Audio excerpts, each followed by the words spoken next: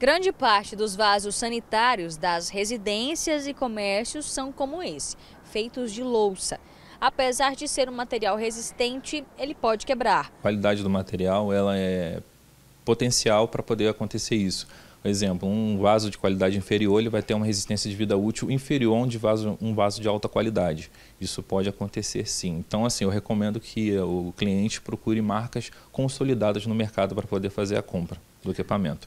Acidentes também podem acontecer caso a instalação seja feita de forma incorreta. Eu recomendo que seja um profissional habilitado, cujo ele tenha a percepção que a superfície esteja nivelada, que os parafusos estejam devidamente fixados, apertados de forma correta, as vedações, todas conforme manda o manual do fornecedor. Além de tudo isso, ainda tem o uso inadequado. Subir no vaso, por exemplo, é expressamente proibido. É uma estrutura que é feita para utilizar sentado, então assim é, pode causar futuras patologias ou futuras trincas no equipamento que antes estava íntegro. Os cuidados com o vaso sanitário ganharam destaque depois que um equipamento se quebrou durante o uso e acabou deixando uma mulher gravemente ferida.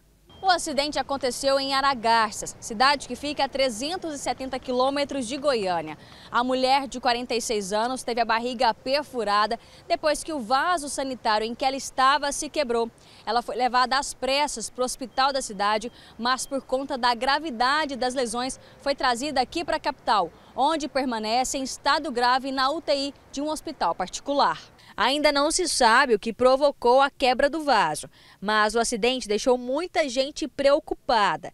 O engenheiro faz um alerta sobre os sinais de que o vaso aí da sua casa precisa ser trocado. Fissuras, sinais de desgaste, é, tem essa inspeção visual sobre a, vedação na lateral do vaso, isso é importante também. Verificar se o vaso não está se movimentando na hora da utilização, que isso pode causar uma futura trinca, uma patologia. Fazer essa inspeção visual. Se identificado que a porcelana está gasta, já é um sinal que já precisa fazer a substituição do vaso.